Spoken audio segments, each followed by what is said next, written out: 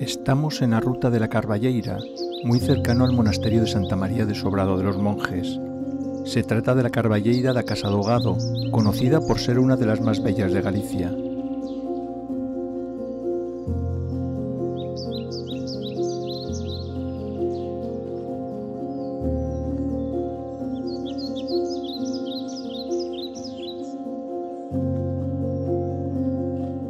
una fantástica zona boscosa en cuyo interior podremos rememorar las aventuras y desventuras del hechicero bandido Fendetestas, personaje de la película El bosque animado de Wenceslao Fernández Flórez, llevada al cine por José Luis Cuerda y Alfredo Landa como actor principal.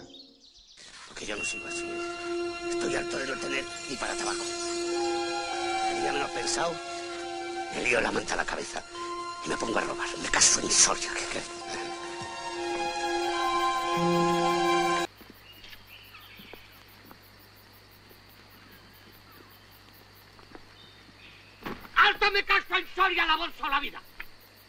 ¡Y deja el dinero! ¡Eres tú, Malví! Buenas tardes, hombre. ¿Qué haces con la cara llena de barro? eh? ¿Es que te has caído? ¿Cómo que qué hago? Hago de ladrón.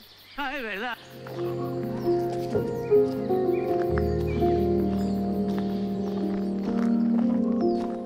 Eligieron este maravilloso entorno allá por el año 1987.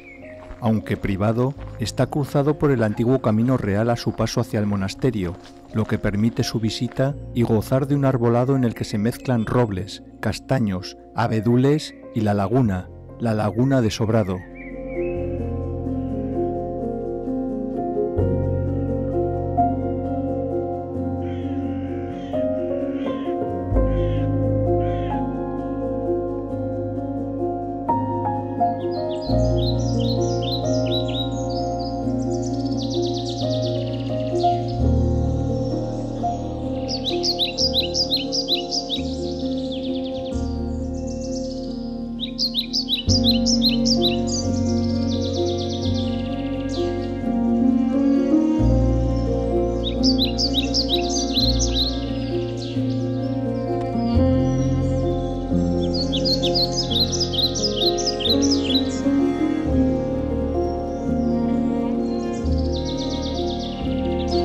Música